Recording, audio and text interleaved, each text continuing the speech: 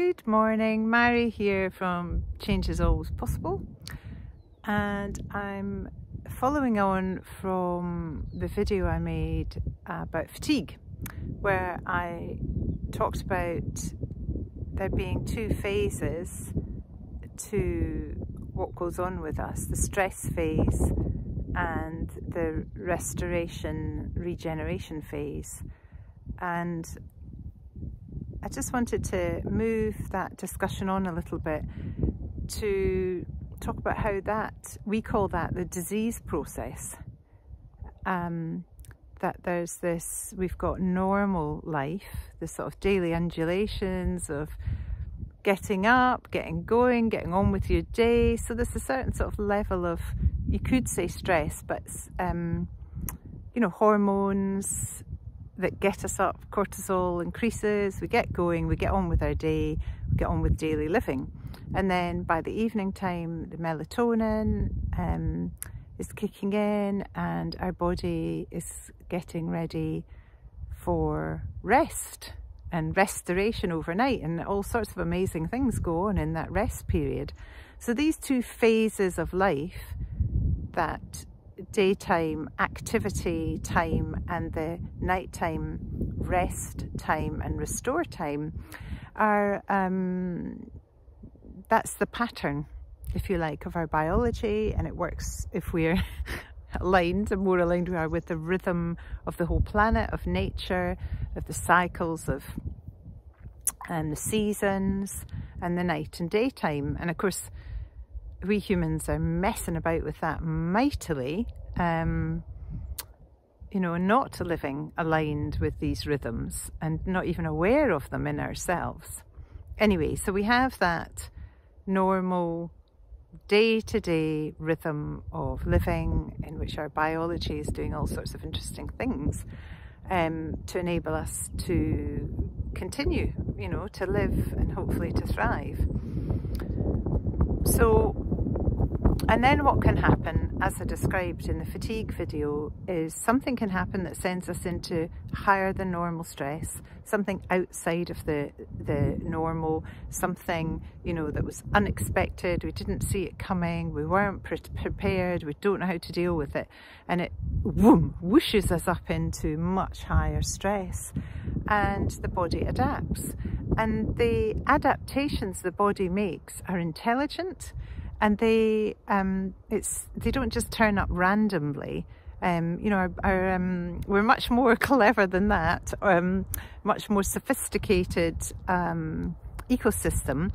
So the the way that the body reacts in that stress phase, apart from the normal stress reactions um, that are there for fight flight, they in a yeah, when we've had something shocking happen, or an intense emotional event, we will, our, our biology will be reacting depending on how we've perceived that shocking event. Did we see it as a threat to our survival? Did we see it as an attack on our integrity? Did we feel unable to perform in some way, unable to do something? Did we um, find ourselves wanting separated from something? You know, there's lots and lots of different perceptions of such an event. And in fact, we, we could all have the same event and have a different perception of it because we're an accumulation of everything that's happened to us before and that then informs how we view the things that happen to us. And this is really crucial because the perception and the meaning we make out of this shocking event that happens to us, this you know more than normal stress, then determines which tissues in the body react and go into the stress phase of disease, go into trying to help us adapt and survive the, the perceived threat. Um, and so when we come out of that stress phase, those same tissues are the ones that will then need restored and brought back into homeostasis. And that actually is more often, not always though, but more often when actual symptoms appear. Um, and uh, when the repair is being done. And, you know, a simple example is, you know, if we cut our finger, so there's been a stress that cut, and maybe initially we're like, we don't feel anything in the stress. And then when it starts to repair, we feel it, you know, it's red, it's throbbing, it's, it might get pussy even, um, it's swollen and sore and painful.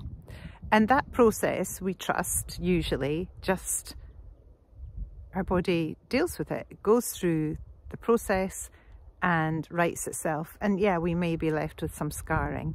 Um, so we can scale that idea up, that um, to all the tissues in the body react in a similar way in that they do something in the stress phase and then they do something in the restoration phase.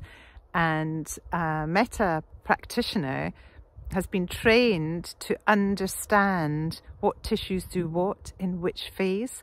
And that's why it's really important that we understand what your actual symptoms are, what the actual diagnosis is, so we can understand which tissues in the body have been are activated and doing something.